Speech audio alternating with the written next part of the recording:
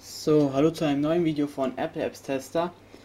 Heute zeige ich euch eine Application von der Kategorie Unterhaltung, also nichts mit Spiele, was meiner Meinung nach sehr, sehr cool ist und sich wahrscheinlich viele wünschten oder gewünscht haben, aber die, also die Application gibt es schon länger, aber ist nicht so sehr bekannt im App Store.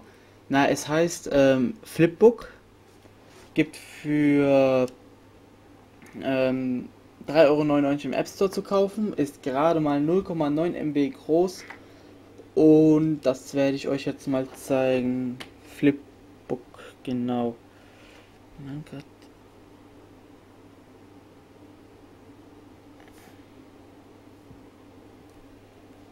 So.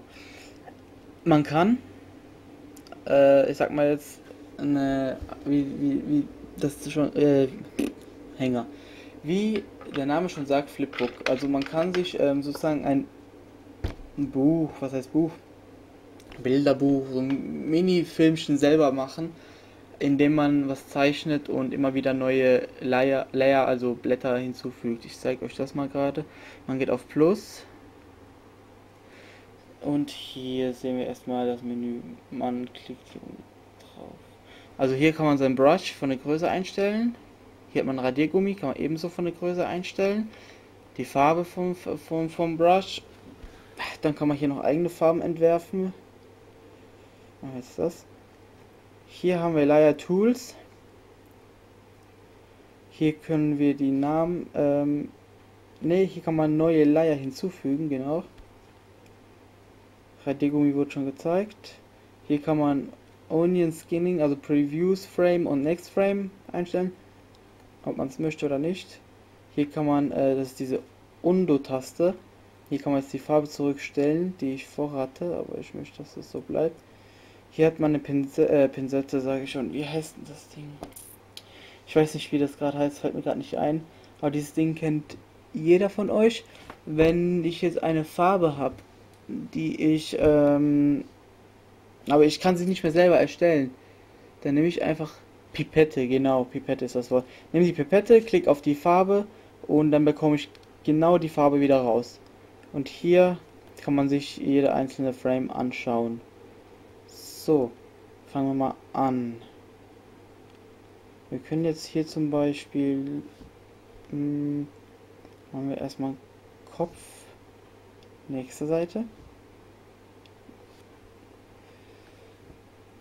Kopf, Körper, nächste Seite. Kopf, Körper, Einbein, nächste Seite.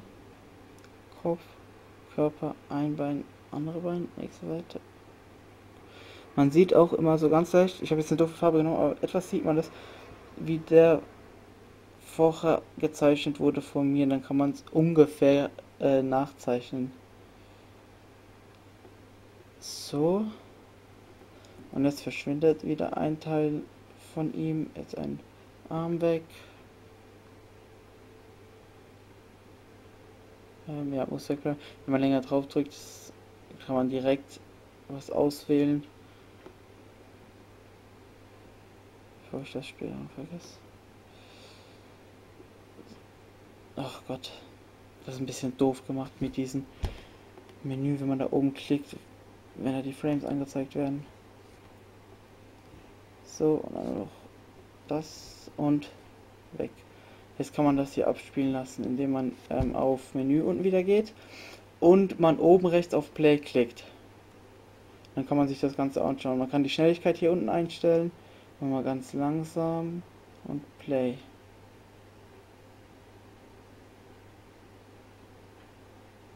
Weg ist er. Ja, manche haben da wirklich richtig gute Geschichten, also Miniclips rausgekriegt. Also da kann man echt eine Menge Zeit investieren. Ich habe vorhin auch noch irgendwas gemacht, das kann ich euch mal auch zeigen. Ist jetzt nichts. Moment, ist jetzt nichts Spektakuläres. So. Manchmal einfach so ein bisschen zum Testen.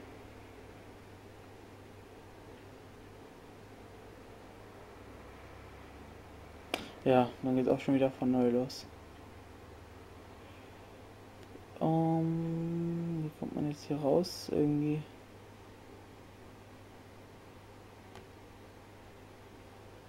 Entweder ist es ein Bug oder ich krieg's nicht gebacken. Naja, mehr gibt's eigentlich äh, zur App nicht zu sagen. Das war's auch schon. Ähm, 3,99 Euro ist 3,99 Euro ist schon ein heftiger Preis. Aber ähm, wer zu viel Geld hat, kann sich gerne die Application kaufen. Allerdings gibt es auch eine Light-Version. Also man kann es vorher testen und ein bisschen in der Light-Version rumtüfteln und am Ende kann man dann schauen, was man davon hält. Ob man sich die Vollversion kaufen möchte oder auch nicht. So, dann danke fürs Zuschauen, viel Spaß mit meinen anderen Videos und tschüss.